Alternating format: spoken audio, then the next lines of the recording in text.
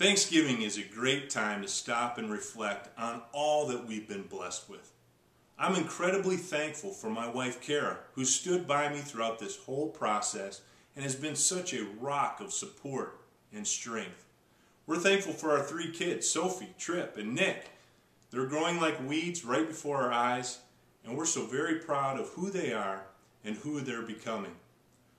We're blessed to have a supportive extended family and a great church community too. I'm thankful for the West Michigan community, which is such a great place to live, work, and raise a family. I'm thankful for the spirit of entrepreneurship that has allowed so many to be successful here and to give back so generously to our community.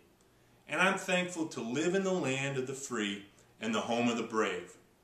As we celebrate Thanksgiving with our loved ones, Let's remember all the brave men and women serving in the military who will be far away from home this Thursday.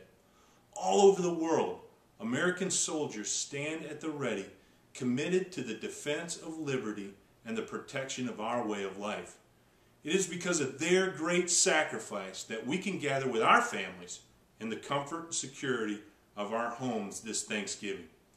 So as you celebrate Thanksgiving this week, pausing to give thanks to God for all of his many blessings, join me in remembering our countrymen who stand in harm's way.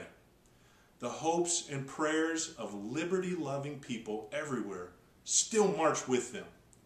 Thanks for your support, and may you and your family have a blessed Thanksgiving.